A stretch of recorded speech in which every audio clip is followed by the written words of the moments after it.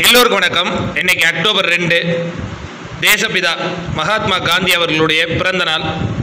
அதே மாதிரி தமிழகத்தில் ஒரு தன்னலமற்ற ஒரு சிறப்பான ஆட்சி செய்த ஐயா காமராஜ் அவர்களுடைய மறைந்த நாள். எனவே அக்டோபர் ரெண்டு வந்து எல்லோருக்கும் மனசுக்குள்ளே இருக்கிற ஒரு நாள் அப்படின்னு நம்ம சொல்லலாம். அதாவது அக்டோபர் மாதம் சூப்பர் ஸ்டார் ரஜினிகாந்த் அவர்களுடைய ரசிகர்களுக்கு மகிழ்ச்சியான செய்தி கண்டிப்பாக வரும் அப்படின்னு சொல்லியிருந்தோம்.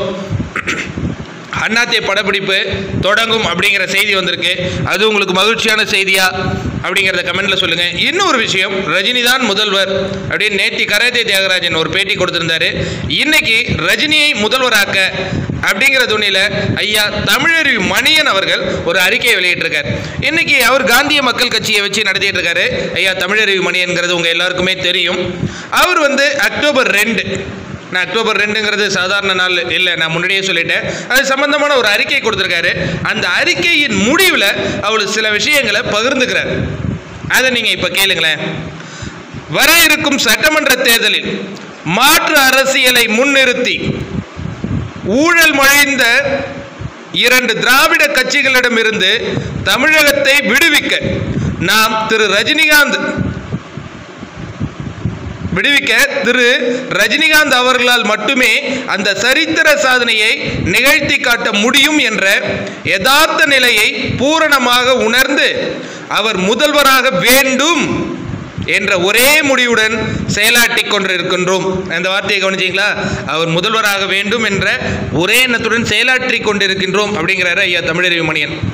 சமய நல்லிணக்கணம் மத சார்பற்ற ஆட்சி முறை ஊழலுக்கு எல்லளவும் இடம் தராத நேரிய நிர்வாகம் வெறுப்பு அரசியலுக்கு இடமின்றி அனைவரையும் அன்பினால் ஆறத் தழுவி அரவணைக்கும் உயர் பண்பு. சாதி மத உணர்வுகளுக்கு எந்த நிலையிலும் இடம் தராத மேன்மையான வாழ்க்கை முறை. ஆகியவற்றையே காந்தி காந்தியத்தின் நல்லடையாளங்கள் இவையே காமராஜர் பின்பற்றிய வழித்தடங்கள் இதுவே சூப்பர் ஸ்டார் ரஜினிகாந்த் அவர்களுடைய அரசியலில் இருக்கும் அப்படிங்கிற ஒரு துணியில் அவர் அறிக்கை விட்டுருக்காருன்னா சாதாரண விஷயம் இல்லைங்க. அக்டோபர் இரண்டு ஒரு மிக இனிப்பான செய்தி வரும்னு சொல்லிட்டு இருந்தோம் இல்லையா?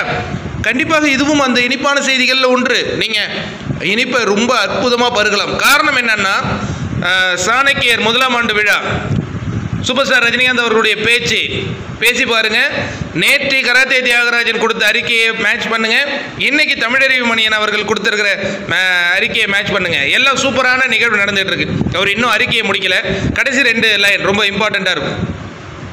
காந்தி பிறந்த நாளில் காமராஜ் மறைந்த நாளில் இந்த இருவர் தம் கனவுகளை நனவாக்க அரசியல் களத்தில் அடியெடுத்து வைக்கும் திரு ரஜினி அவர்களின் முயற்சிக்கு நாம் உறுதுணையாக நிற்போம் அப்படின்னு சொல்லி தமிழறிவு மணியன் அப்படின்ட்டு அவர் கையொப்பமிட்டிருக்காரு நீங்கள் எப்படி உறுதுணையாக இருப்பீங்களா? கமெண்ட் பாக்ஸில் சொல்லுங்கள் இந்த வீடியோ உங்களுக்கு பிடிச்ச லைக் பண்ணுங்கள் கண்டிப்பாக எல்லாருக்கும் ஷேர் பண்ணுங்கள் அக்டோபரின் தொடக்கமே மிக சந்தோஷமான செய்தி.